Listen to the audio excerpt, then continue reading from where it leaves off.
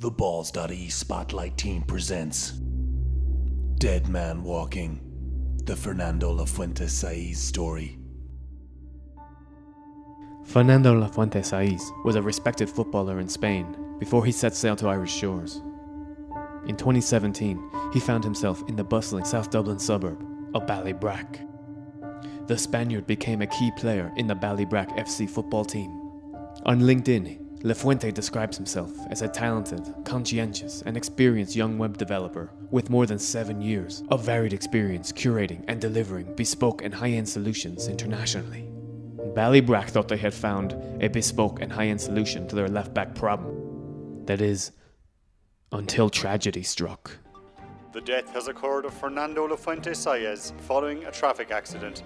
His body has already been shipped back to Spain, in case anybody is wondering. The untimely death of La Fuente Saiz struck a blow to the already depleted numbers of the Ballybrack FC roster.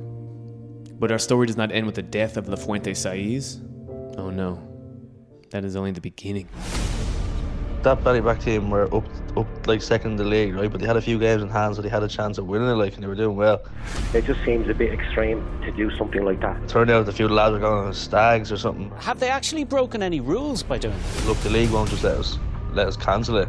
A grave and unacceptable mistake. But it just said all of a sudden that Root has removed Fernando, a gross error of judgment. and uh, then next thing you know, he writes in the WhatsApp group, be like, "Look, lads, I have to tell you something."